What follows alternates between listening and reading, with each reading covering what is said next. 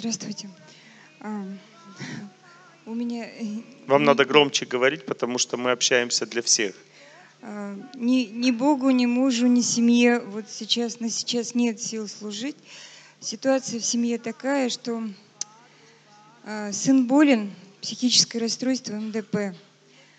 А, Случилось год тому назад, и позиция мужа была не укладывать его в психушку.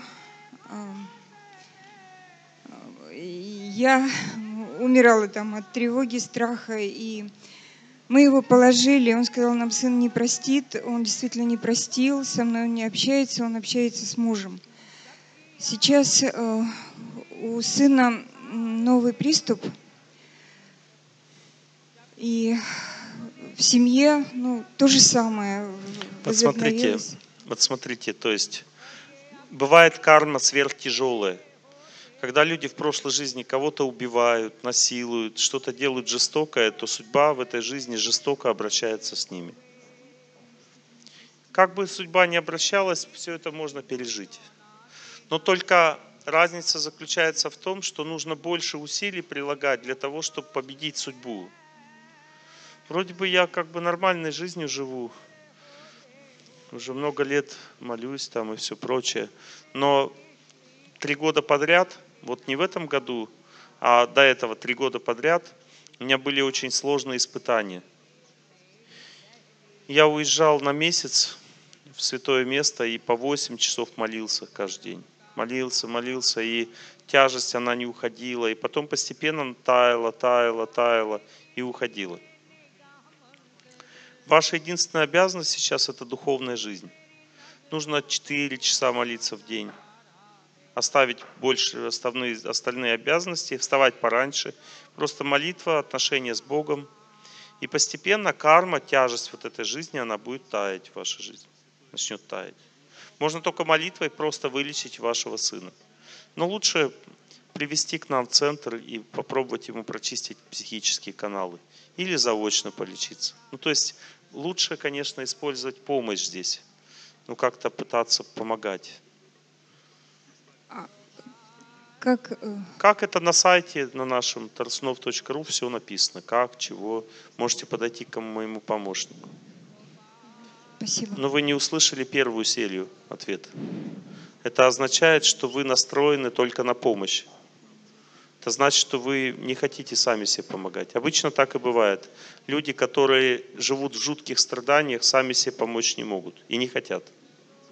Я бы на вашем месте не думал о том, чтобы лечиться, а думал о том, чтобы просто сделать то, что я сказал. Молиться, молиться, думать о святости, и постепенно груз судьбы растает, станет меньше. Просветления начнутся у вашего сына, у вас. Вы же тоже сейчас как в тумане живете. Потому что у него туман означает неадекватность, а ваш туман означает депрессия.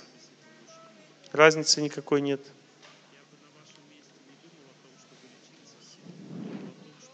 А, здравствуйте.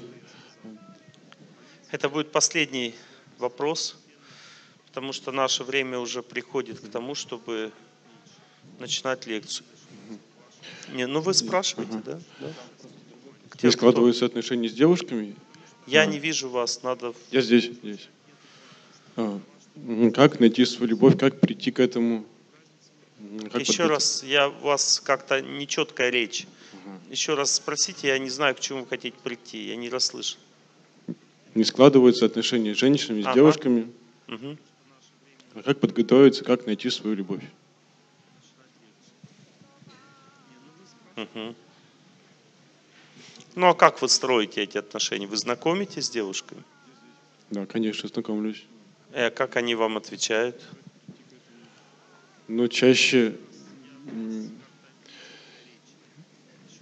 не вступают в отношения. Не вступают вообще Нет. отношения?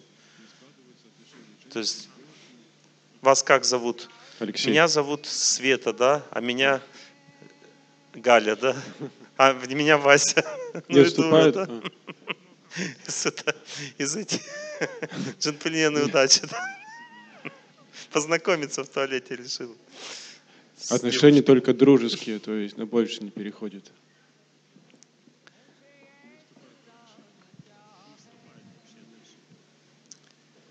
Не расстраивайтесь, не волнуйтесь.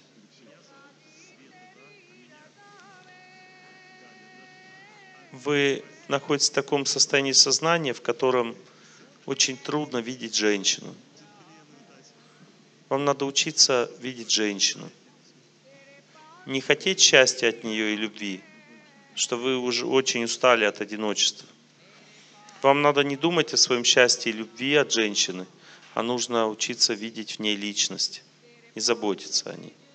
Но это не самое главное, что я вам хотел сказать. Самое главное заключается в том, чтобы мужчине, чтобы вообще начать семейную жизнь, перед этим нужно совершать аскезы. Должен стать очень крепким. Понимаете, у вас очень эмоциональный характер, эмоциональный слабый характер. Женщина тоже такой же характер имеет. Зачем ей нужен еще эмоциональный мужчина? Нужно совершать аскезы, вставать под ледяную воду, поститься – делать физические упражнения, подвергать себя лишениям жизни. Старанно вставать, молитву читать. И так годика два. Не думать о женщинах вообще. Просто погрузиться в духовную жизнь. Да ваш характер станет крепким. Вам не надо будет думать о том, чтобы познакомиться с кем-то. Девушки будут сами на вас обращать внимание. Вы будете видеть, как они смотрят на вас. Вам не сложно будет познакомиться. И им даже не имеет значения для них, как лицо выглядит у мужчины. Им имеет значение качество. Вот смотрите, сейчас я проведу опрос. Девушки не замужем. Вот если парень очень сдержанный, сильный характер, спокойный, доброжелательный, чуткий, заботливый, решительный. И вы даже толком еще не разглядели его лицо. Кто из вас готов с ним познакомиться? Поднимите руку. Ну, смотрите уже, сколько девушек подняло руку. Это не проблема. Девушки даже не знают еще лицо, но если они знают, что такие качества у человека, они готовы познакомиться. Но у вас нет таких качеств. Вам надо их выработать с помощью аскезы внутренней. Вот, вот чем на вам надо заниматься. Вам не надо думать о знакомстве сейчас.